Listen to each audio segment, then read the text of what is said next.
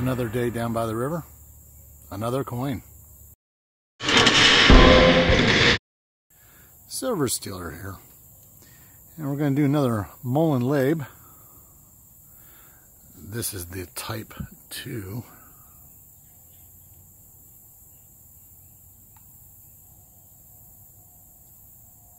The Intaglio Mint.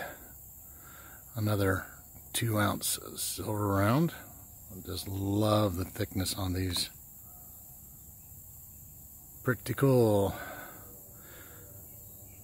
I did go ahead and pick up all four of these. A little bit late in the game on them. But, you know, once you pick up one, you got to have them all. That's it worries me about the Queen Beast. I Just recently picked up one of those. Now I'm worried I got to get all those. We shall see. Some of those are already starting to come with a pretty nice premium. I wish the backs would have some differences, but I still like the cartwheel lines off those spokes, lines, whatever you want to call them. Pretty cool. There's the Type 2, Molon Labe. Come and take it. Uh, that sounds like something big going across the bridge.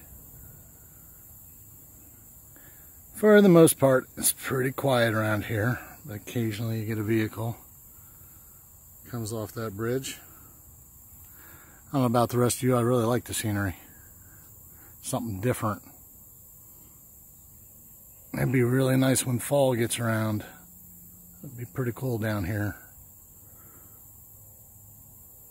So, this is what I mean about a coin down by the river. And this was the Molon Type 2. It's going to bring this one to a close. Remember to like, subscribe, and all those other good things. I'll see you on the next video.